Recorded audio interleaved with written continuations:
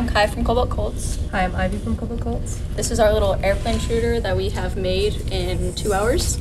Um, so it just has two wheels which use friction and they go in opposition of each other to shoot an airplane through. We have a uh, goBILDA motor. Um, we have two goBILDA wheels and Uh, I found this airplane book and I used it. I made that one, but I had to change the front a little bit so it can actually fit through the wheels and fly. Uh, for the future, we do want to make these wheels a little bit further apart or get smaller wheels because it's a little tight.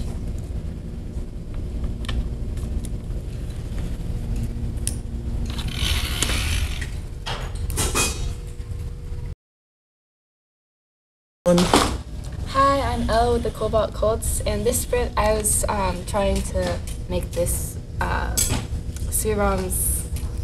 lift go up and down. Um, and in order to do that, I had to connect another motor, and since I'm already using four for the control hub, I added an expansion hub um, with the RS uh, cable and um, power. And in the process, I broke the grounding strap, so I kind of had to fix that in a makeshift way. Um, and then I added TeleOp to make it go up and down. Hey, I'm Sriram from the Cobalt Colts, and over the last two sprints, I was working on a mechanism that can let us hang. Last sprint, I was able to get this lead screw working, which would hang just fine. So the problem is we needed the whole mechanism to be under this pole, which is like 14 and a half inches. inches. First, we thought of making this claw driven on a servo, so we can store it until end game, where we can put it on and then we can hang.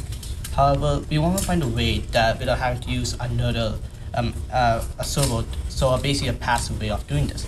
And we landed upon this um, makeshift way, which is basically um, surgical tubing acting as a spring, counter spring, and it's uh, hinged over here and here.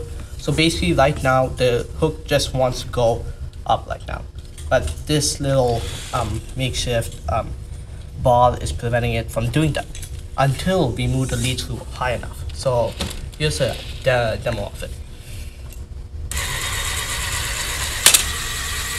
So if it instantly goes up, then we can push it on the hook, then I can hang as normal. And it still works just fine. So this is basically the, our progress um, now with this. And we're gonna try finding this a bit more, but we're proud that it's able to go under the bar.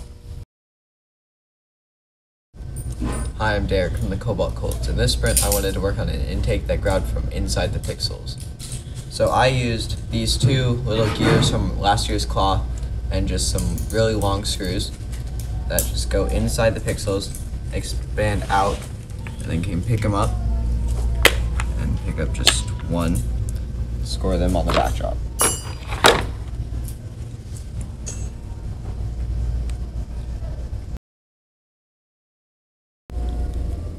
Uh, hi, my name is Og from the Cobalt Colts. Um, this is our flamethrower version 3. Um, it's powered by this 6000 RPM goBILDA motor. Um, which makes this wheel turn and also makes this wheel turn because of friction. Uh, and these two are compliant wheels.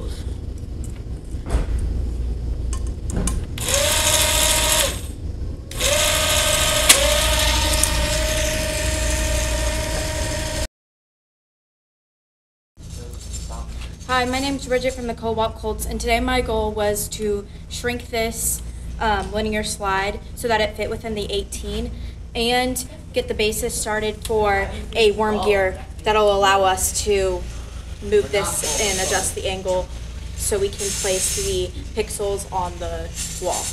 Um, I worked a little bit to raise this up so Derek can attach his claw to go down and grab the uh, pixels easily and grab two at once.